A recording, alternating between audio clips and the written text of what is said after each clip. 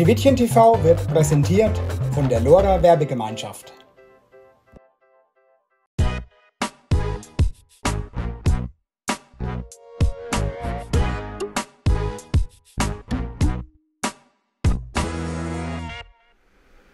Herzlich willkommen, liebe Zuschauer, zur mittlerweile neunten Ausgabe von Schneewittchen TV.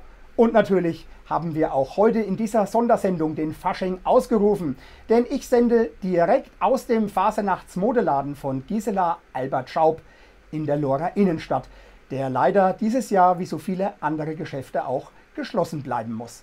Mit der Inhaberin Gisela führe ich natürlich im Laufe der Sendung auch ein kleines Interview und möchte von ihr wissen, wie sie denn ohne Fasching über die Runden kommt.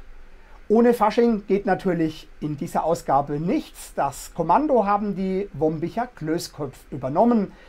Der Thomas und der Hilmar, die werden euch ein bisschen durch die Sendung führen. Und ich kann euch jetzt schon verraten, einige Prominente waren in den letzten Tagen in Lohr unterwegs. Ein Interview haben wir auch mit Angelika Winkler, der Vorsitzenden der LoRa Werbegemeinschaft, geführt, die uns ihre Aussichten für die Werbegemeinschaft auf das neue Jahr ähm, mitteilt. Der zweite Teil vom Langlauf folgt natürlich auch. Mit Johannes Rustler war ich diesmal direkt in der Loipe hoch über Frammersbach unterwegs.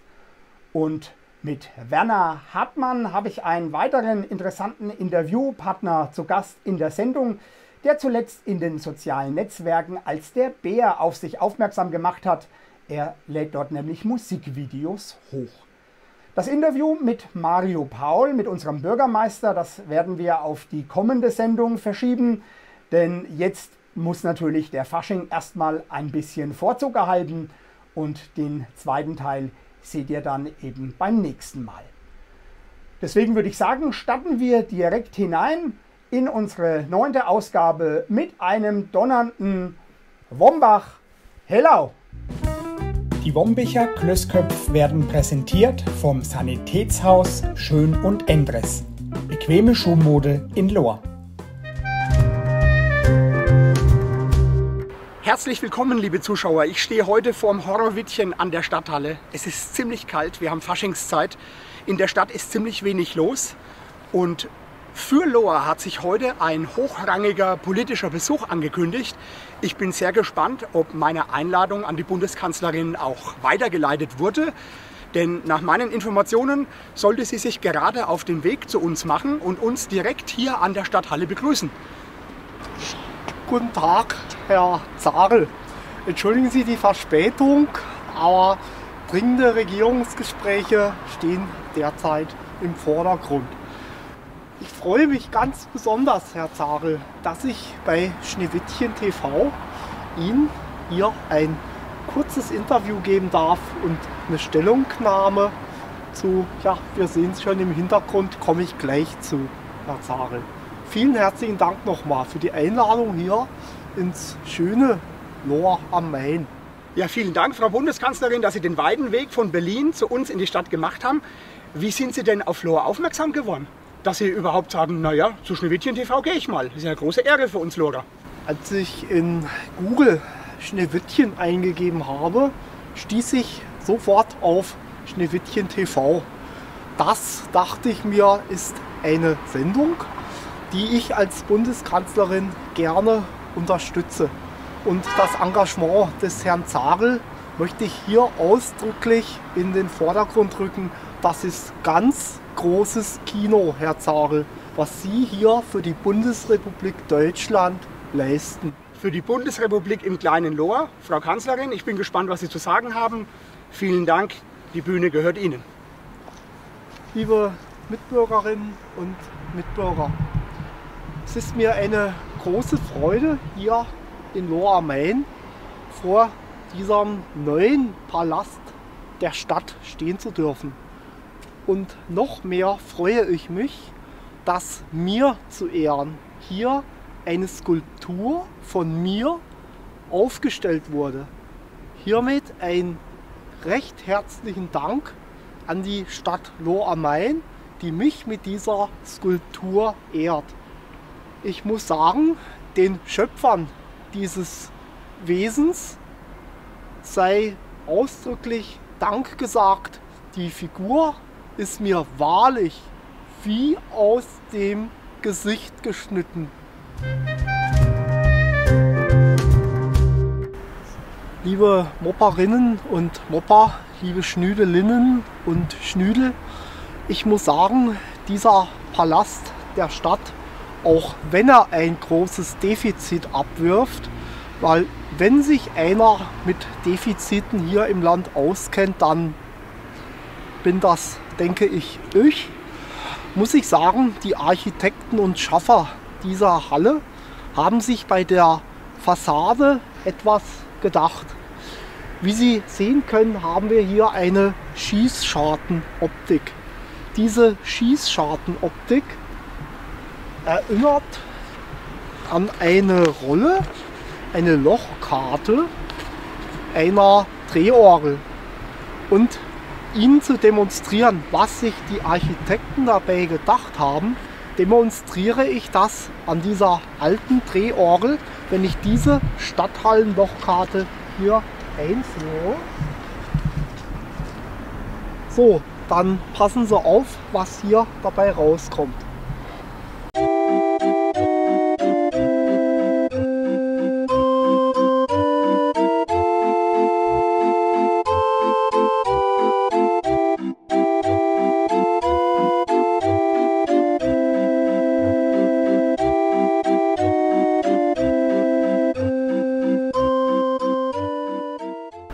Liebe Nora Talkessel Fastnachtsvereine, liebe Fastnachtsfreunde aus Wombach, Lohr und der Umgebung, ich wünsche Ihnen allen trotz allem eine fröhliche Fastnacht und wünsche Ihnen von ganzem Herzen und rufe fröhlich heraus ein dreifach donnerndes Hello. Hello Hello. Und denken Sie immer daran, wir schaffen das.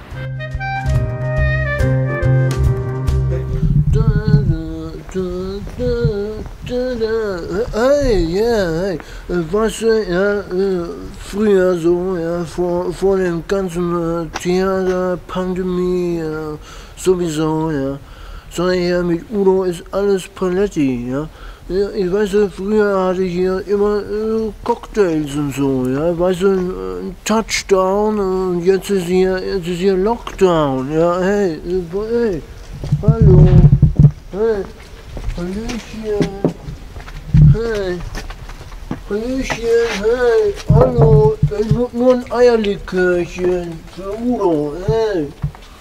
Ja, keiner da. Ja, so, gucken wir weiter. Ja. Lass mal, hey, lass mal gucken da hinten, der Sternkeller. Hey, yeah. hey, ja, der, hey, Sternkeller, meine alte Location. Hey, hey früher immer schon hier äh, nach der Tour, weißt du, im Sternkeller so richtig zum Absacken. yeah, weißt du, Jukebox und so. Rock'n'Roll, yeah, und ich weiß noch, immer an den Dresen gegangen und sag so, hey, mach mir mal 18 Pilz, ja. Also ich sag die, sag die Wirtin, hey, Udo, was willst du mit 18 Pilz? Sag ich, hey, an der Tür steht ein Schild, so Alkohol erst ab 18, ja. Yeah. Yeah. Und ey, pass auf, ja. Sternkeller Stories, ja, kann ich mich erinnern, ja. Weißt du, ich, ich ja jetzt im Moment immer Lockdown, ja, der Udo, Udo ist zu Hause, ja. Äh, der Doc sagt mir jetzt schon, äh, Herr Lindenberg, ja, äh, Sie, am besten, ja, Sie, Sie trinken jetzt mal vier Wochen, ja, äh, kein Alkohol und wir schauen, ob es besser wird. Sag ich, hey, hey, Doc, ja, ich habe einen Alternativvorschlag. Hey, pass auf, äh, ich trinke jetzt vier Wochen lang äh, mehr Alkohol und wir schauen, ob es schlechter wird. yeah. Hey, hey, Leute, keine Panik. Und denkt daran, auf Udo könnt ihr bauen, sobald er rum ist, der Lockdown. down, yeah. Hey, keine Panik, euer Udo, yeah.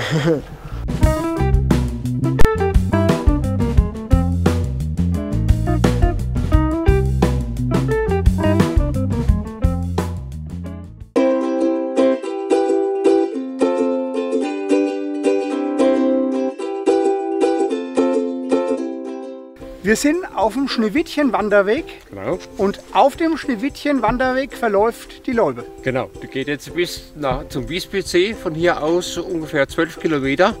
Leicht ansteigen, ein paar schöne Gefälle mit, mit drin. Wir kommen an Moosborn mit vorbei, schon ins Hessische. Und hier ist eben der tiefste Punkt, der Einstieg. Und das werden wir jetzt mal ausprobieren, wie es in der richtigen Loipe dann läuft. Du verleihst ja auch Langlaufski und Genau. jetzt hast du mir gerade verraten, dass das Klischee doch ein bisschen stimmt. Es sind zwei Drittel Frauen, die sich für Langlauf interessieren. Ja, das ist ganz erstaunlich dann. Also nur ein Drittel mä- männlich zurzeit und auch junge Damen, die sich dafür begeistern können, was für mich ganz erstaunlich ist dann. Und ja, das Geschäft machen wir erst seit 14 Tagen, aber es läuft ja gut. Natürlich sind optimale Schneeverhältnisse zurzeit. Mal sehen, wie es nächste Woche wird, ob der Winter so bleibt, wie er jetzt momentan ist.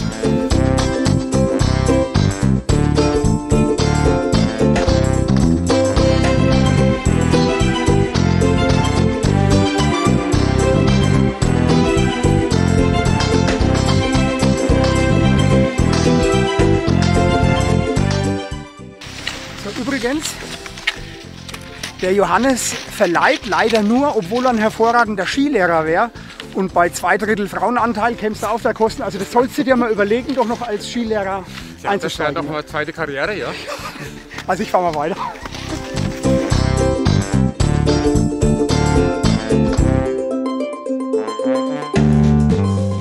Der Johannes, der hat mich jetzt wohin gebracht? Wir sind ein bisschen höher als vorhin. Ja, wir sind jetzt bei der Grotte weitergefahren und gehen jetzt in Richtung Wiesbützsee, immer noch auf der Schneewittchenloipe dann. Man sieht schon, es ist hier tief verschneit, wird immer winterlicher, wir sind jetzt schon auf über 400 Meter. Und schauen wir mal, wie es jetzt hier weitergeht. Und das ist hier durchaus jetzt auch ein wenig anspruchsvoller, die Piste. Ja, man sieht, es steigt jetzt auch leicht an. Da kommen jetzt noch ein paar Abfahrten dann, wo es besonders interessant wird dann mit Langlaufski. Wie bremse ich mit Langlaufski? Das können wir noch mal üben dann. Also gut, äh, wir gehen auf die Läube und die Gurri, die hinter der Kamera ist, die rennt uns jetzt hinterher. Dann schauen wir mal. Tschüss.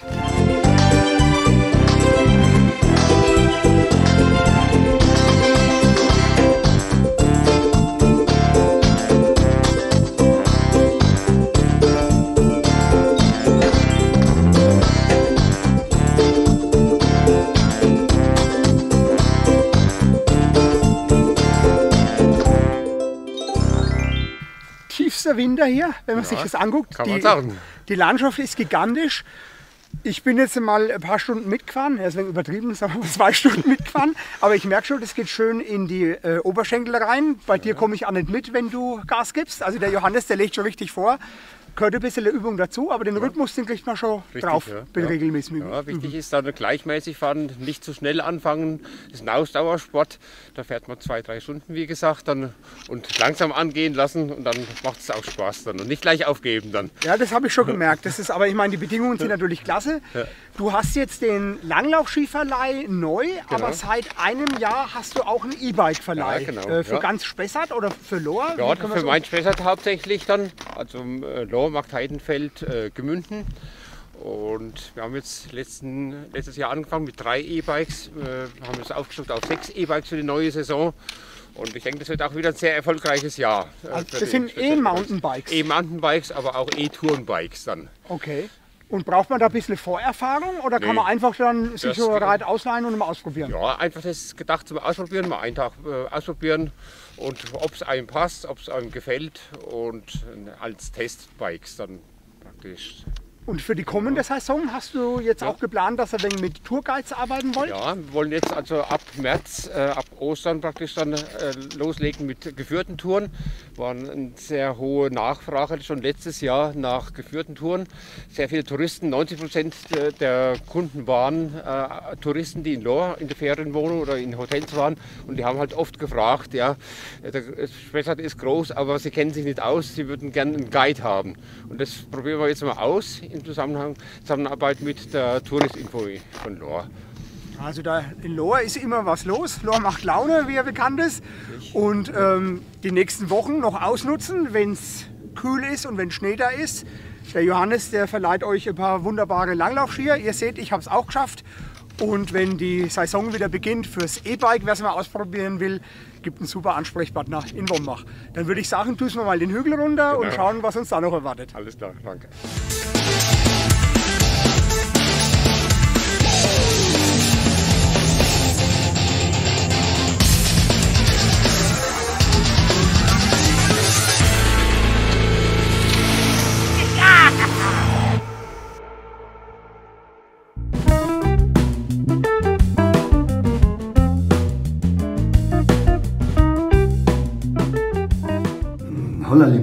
Der Bär, brumm, brumm, brumm, mit einem Lied aus dem Kanon der immergrünen, der allerbesten Songs von den allerbesten Gruppen. Mach hier mal einen auf Influencer. Wenn ihr nicht viele Platten habt, kauft euch eine Fleetwood Mac Rumors aus dem Jahr 1977. For you, there'll be no more crying. For you. The sun will be shining.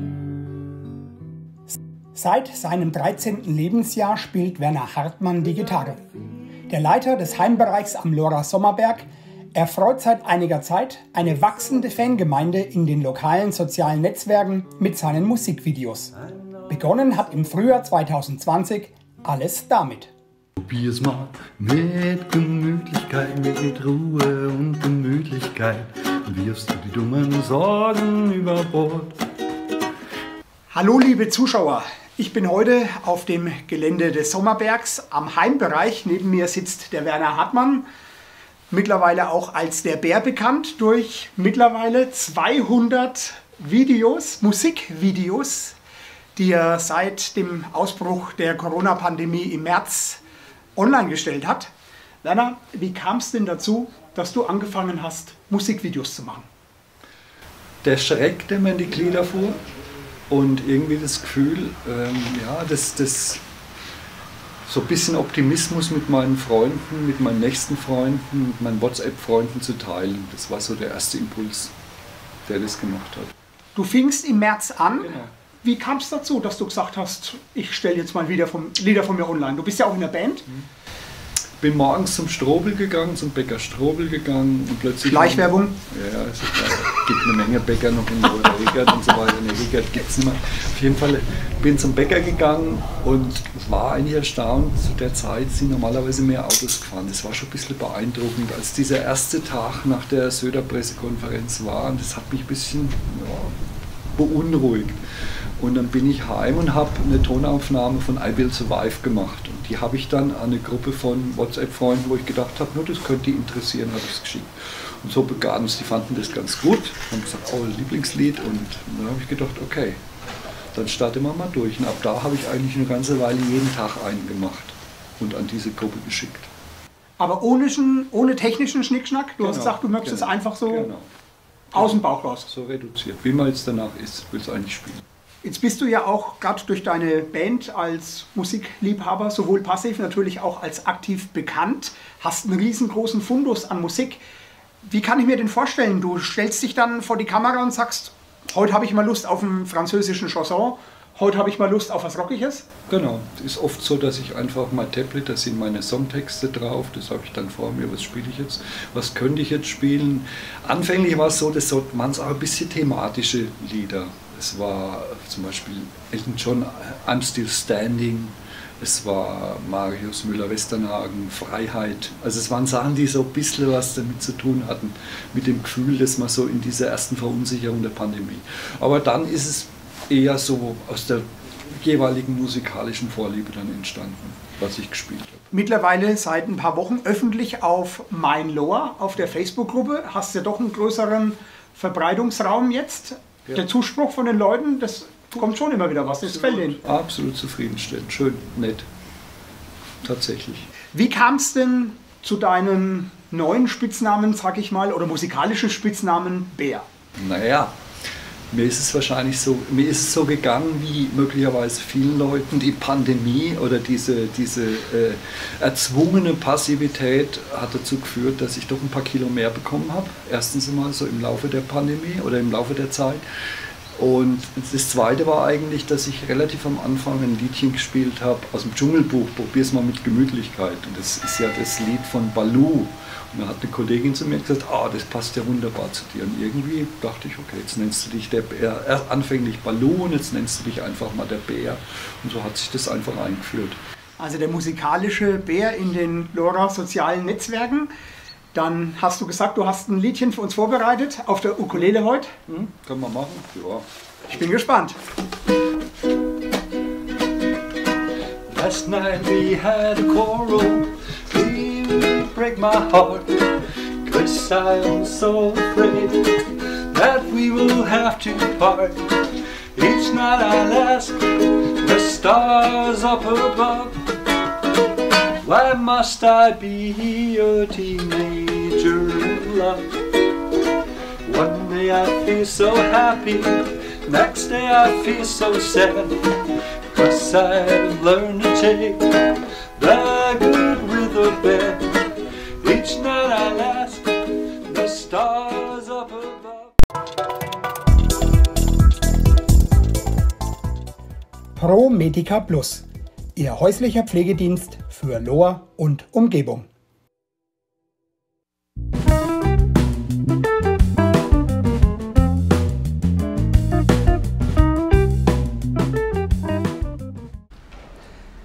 Hallo liebe Zuschauer, neben mir steht die Angelika Winkler, seit 2017 die Vorsitzende der Lora Werbegemeinschaft. Zu unserem Neujahrsinterview äh, stehst du heute zur Verfügung. Vielen Dank. Gerne. Was mich gleich mal von Anfang an interessieren würde, wie bist du ins neue Jahr gerutscht und was sind deine Ideen oder was hättest du gern für 2021, sowohl für dich als natürlich auch für die Lora Werbegemeinschaft? Ja, erstmal vielen Dank, dass du mich heute hier eingeladen hast. Ähm, ja, es ging mir so ein bisschen wie mit dem Wetter heute. Ähm, meine Stimmung war betrübt, aber ich hatte immer wieder sonnige Aussichten und genau mit diesem Vorsatz bin ich eigentlich auch in 2021 reingerutscht. Natürlich im Privaten ähm, versuchen wir uns, soweit es geht, zurückzuhalten. Ähm, wir haben ältere Leute auch bei uns in der Familie, deswegen passen wir da besonders auf. Und natürlich auch mit kleinen Kindern muss man ein bisschen vorsichtig sein. Ähm, für die Lora Werbegemeinschaft hoffe ich auf sonnige Zeiten in 2021, denn wir haben trotz der Restriktionen viel vor. Das vergangene Jahr war ja doch ziemlich heftig, auch für dich als Vorsitzende. Du hast sehr viel umorganisiert. Ich erinnere mich an meinen Lokalshop, an den Online-Ticketverkauf, erstmalig, der ja auch lief. Aber trotzdem im Rahmen der Möglichkeiten ein erfolgreiches Jahr. Absolut. Ähm, also wir waren natürlich vor äh, nie dagewesene Herausforderungen gestellt, zumindest für meine Generation gesprochen. Andere Generationen haben schon viel Größeres bewegt in ähm, viel schwierigen, schwierigeren Zeitabschnitten. Ähm, aber wir haben es natürlich geschafft, durch den Mein Lokalshop ähm, auch überregional ein bisschen mehr zu agieren. Und da denke ich auch schon ans neue Jahr. Ähm, denn diese überregionalen Strippen, die wir jetzt da gespannt haben, die wollen wir ein bisschen mehr ziehen. Das bedeutet, wir wollen unsere Termine für nächstes Jahr besser aufeinander abgleichen, dass die Touristen, die Kunden, aber auch die Bevölkerung von Main-Spessart mehr von den ganzen Angeboten des Landkreises in Zukunft wahrnehmen kann. Herausforderungen des vergangenen Jahres hast du schon angesprochen. Was würdest du zusätzlich noch positiv erwähnen für das vergangene Jahr, was die Lora Innenstadt angeht? Ja, ähm, wir bewegen uns. Äh, nur wo Aktion ist, entsteht auch Veränderung. Also ohne Druck passiert normalerweise sehr wenig. Und der Handel weiß schon seit vielen Jahren, dass es gerade im Thema Digitalisierung einfach hakt. Das hängt an ganz vielen Stellen und auch im textilen Einzelhandel, in den Accessoires ist es oft auch ein Orderzyklus, der uns in äh, sehr starke Korsetts zwingt. Und hier bricht langsam ein bisschen die Struktur auf und deswegen glauben wir, dass wir in 2021 noch wesentlich flexibler auf unvorhergesehene Situationen reagieren können und auch mit ja, einer ordentlichen Portion Elan jetzt in das neue Jahr starten.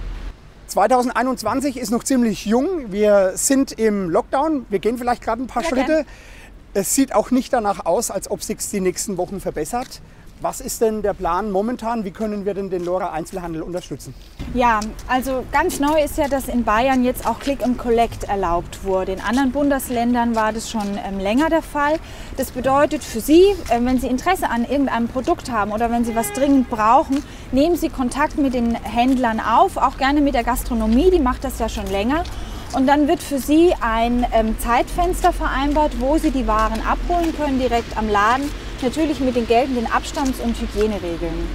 Für uns ist ganz wichtig, dass wir ähm, natürlich Kontakt mit dem Kunden halten können. Ähm, das ist für den Händler äh, ganz essentiell und natürlich auch für die Lora Bevölkerung, dass niemand zu sehr ins Internet abwandert.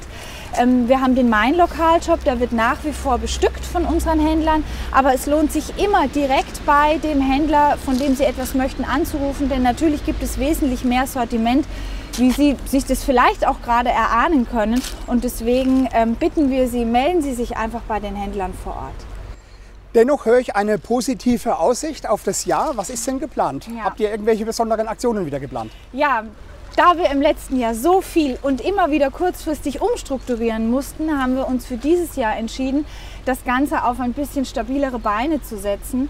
Wir planen natürlich einen Tag der Mode und ein Frühlingsfest, aber wir werden von den alten Daten etwas abweichen müssen, da wir im Moment noch nicht abschätzen können, wie sich der Februar entwickelt und natürlich dann auch der März. Das sind die Termine, in die das Frühlingsfest und auch der Tag der Mode fallen würde. Und wir wollen hybride sein. Das bedeutet, wir wollen digital mit real verknüpfen. Und ich hoffe, dass wir hier schöne Konzepte rausfinden können, ähm, damit wir den Lorern wieder die Türen öffnen. Das hört sich doch sehr positiv alles an. Dann wünsche ich der Lora Werbegemeinschaft und Lora Einzelhandel natürlich viel, viel Glück.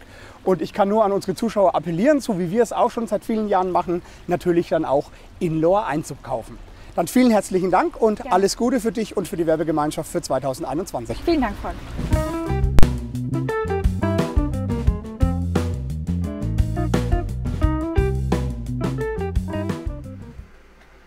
Neben mir sitzt die Gisela Albert Schaub, die Inhaberin des Lora Fasenacht Ladens, Fasenacht Modeladens, hast du zu mir gesagt. Genau. Du hast mich auch schön eingekleidet. Im Januar hast du den Laden hier übernommen, hast ähm, auch den ersten Fasching Gott sei Dank noch mitmachen können. Dann kam der Lockdown. Erzähl doch mal unseren Zuschauern, wie verlief denn dieses Jahr für dich? Ja, also es war so, dass ich im Januar letzten Jahres, am 7. Januar, habe ich eröffnet. Habe gedacht, gut, ich nehme Fasching mal hier in Lohr mit, weil ich hier auch äh, lang, langjährige Kunden hier auch habe. Hat auch Bombe eingeschlagen und ja, dann kam der Lockdown und ähm, ich habe versucht, dann, wo dann wieder offen war, äh, dann über die Runden zu kommen, habe aber gemerkt, natürlich, die Resonanz ist nicht so da.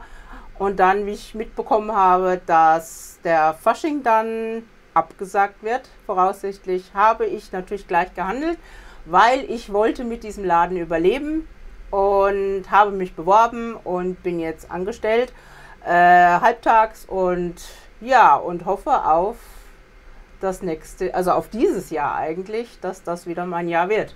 Du hast ziemlich Glück mit deinen Vermietern gehabt, hast du gesagt, die dich durch die schwere Zeit Die waren begleiten. ganz, ganz toll, muss ich sagen, auch schon im- beim ersten Lockdown. Ähm, ähm, ah, sind die mir sowas von entgegengekommen und sie stehen auch voll hinter meinem Laden, auch hinter dem Konzept. Und wir haben zusammen auch Ideen auch ähm, gehabt, was man vielleicht noch weitermachen könnte. Und ja, und jetzt beim zweiten Lockdown natürlich stehen sie auch hinter mir. Wie gesagt, äh, ich sage nur so den einen Satz, ähm, da stehen wir zusammen durch. Na, das ist super. Du hast auch tatsächlich einige Pläne, hast du mir schon im Vorgespräch gesagt. Es soll nicht nur hier in den Räumlichkeiten ähm, ein Tattoo-Studio entstehen. Du hast auch so besondere ähm, Events geplant, beispielsweise äh, Mittelaltergeschichten und äh, Dirndl und so weiter. Aber du hoffst natürlich auf die kommende Faschingssaison. Wie ist denn deine Prognose für dieses Jahr? Ja, also ich hoffe, dass, wie gesagt, der Fasching, der bei mir normalerweise als Geschäft ähm, im August, Juli, August schon anfängt, ähm, dass, äh, ich sag mal, die Leute wieder kommen, die Kunden, langjährige Kunden und auch die neuen. Und ja, und mit den anderen Sachen wie äh, Festaktivitäten, bayerisch und so weiter, wird sich weisen, ob das dieses Jahr schon möglich wird. Die Wombicher werden präsentiert vom Sanitätshaus Schön und Endres. Bequeme Schuhmode in Lohr.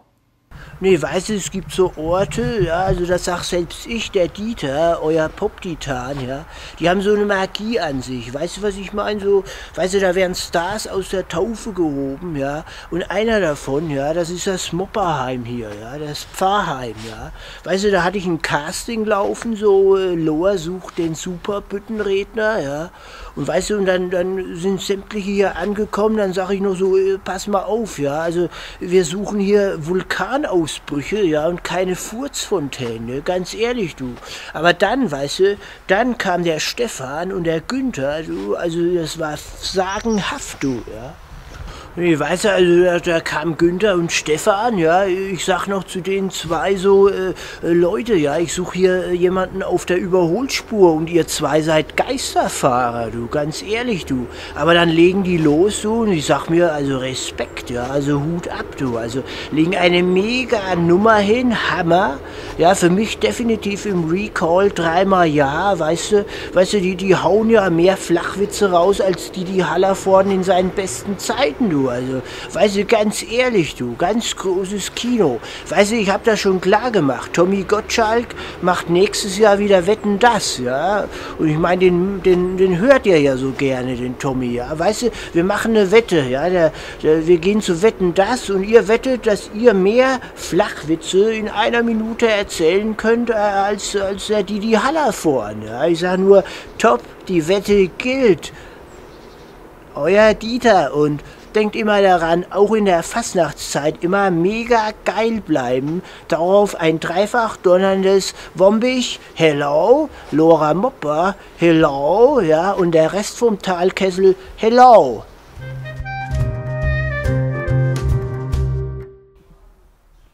Noch ein Gedicht vom Bayersturm in Richtung Main lädt ein schönes Gässchen zum Flanieren ein. Nur die Stadt Lohr hat damit ihr Laster, denn die Muschelgasse ist wohl ein teures Pflaster. Denn zu bauen ist bekanntlich schwer, denn die Stadtkasse ist gähnt leer. An der Baustelle stand gar der Kampfmittelräumdienstposten, doch was explodierte, waren nur die Kosten. Und Archäologen, das ist allerhand, untersuchten jede Backerschaufel voller Sand. Ein Schelm, wer behauptet, der Bürgermeister Paul hätte die geschickt. Ob vielleicht irgendwo für die Stadtkasse ein Goldstück liegt. Doch sag ich's heut, auch nur zum Spaße. Finanziell gesehen ist das nicht die Muschel, nee, ist ne Sackgasse. Was bin ich für ein Schelm heute wieder, nicht?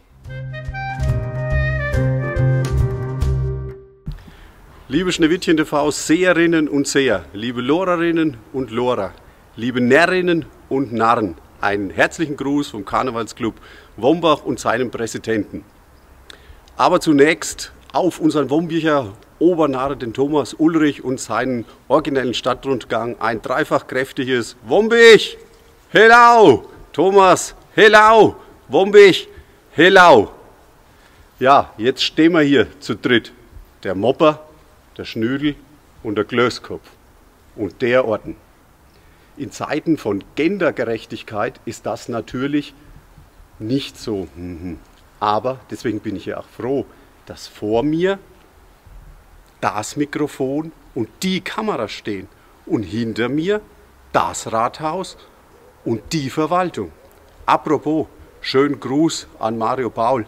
Ich wünsche ihm für 2021 auch, dass hinter ihm die Verwaltung und der Stadtrat steht, wenn er jetzt endlich mal den Rotstift ansetzen muss.